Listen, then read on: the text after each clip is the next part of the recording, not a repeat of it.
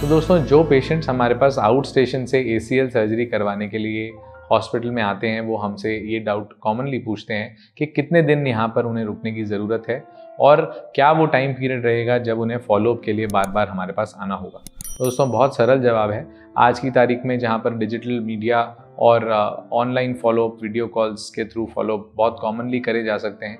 और जहाँ पर हम लोग पेशेंट को एजुकेट करने के लिए ये वीडियोस बनाते हैं। प्लस फिजियोथेरेपिस्ट जो आपके एरियाज़ के अंदर जो पॉपुलर हैं, जिन्हें हम जानते हैं, जो हमारे प्रोटोकॉल्स को समझते हैं, उन्हीं की अवेलेबिलिटी की वजह से रेगुलर फॉलोअप्स बहुत ज़्यादा पोस्ट ए सर्जरी करने के बाद ज़रूरत उनकी नहीं पड़ती। जो बेसिक फॉलोअप्स रहते हैं, वो फ़र्स्ट फॉलोअप रहता है टू वीक्स के ऊपर, जब हम कहते हैं पेशेंट से कि उनको अपने सूचर्स या स्टिचेस रिमूव करवाने की ज़रूरत है।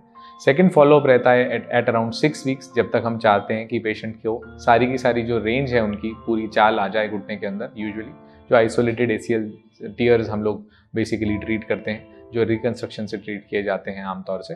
और इसी के बाद हम लोग पेशेंट से कहते हैं कि तीन महीने और छः महीने पर एक फॉलोअप हम लोग आमतौर से पेशेंट का देखना चाहते हैं। इसी के साथ दोस्तों, जिस दिन सर्जरी हमारी प्लान रहती है एसीएल सर्जरी उस दिन जिस दिन सर्जरी होती है, उसे हम डे ज़ीरो काउंट करते हैं। And most likely second day post surgery यानी कि zero one and second day afternoon या इवनिंग में पेशेंट को डिस्चार्ज कर दिया जाता है। कंप्लीट वेट बेरिंग वॉकिंग के साथ, अगर उनका आइसोलेटेड एसीएल रिकंस्ट्रक्शन हुआ है तो। इसी के साथ अगर कोई और सर्जिकल प्रोसीजर होता है तो वेट बेरिंग के प्रोटोकॉल्स और नी बेंडिंग के प्रोटोकॉल्स बेसिकली चेंज हो जाते हैं। वो आपके ऑर्थोपेडिक सर्जन आपसे सर्जरी से पहले और सर्जरी के बाद डेफिनेटली शेयर करते हैं। तो कुल मिलाकर के देखा जाए दोस्तों तो ए सर्जरी के होने के बाद करीब करीब चार बार से छः बार तक आपको अपने डॉक्टर के पास आम तौर से जाना होगा।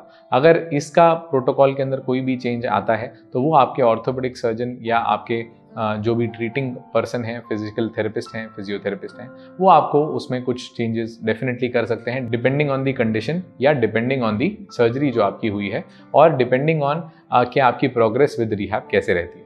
कुछ पेशेंट्स रहते हैं जो कि रिहाब को बहुत कंफर्टेबली फॉलो कर पाते हैं और रेंज उनकी बहुत टाइम से आ जाती है। कुछ पेशेंट्स ऑन दी कॉन्ट्ररी ऐसे रहते हैं जहाँ पर रेंज ऑफ़ मूवमेंट जो है वो थोड़ी सी डिलेड आती है।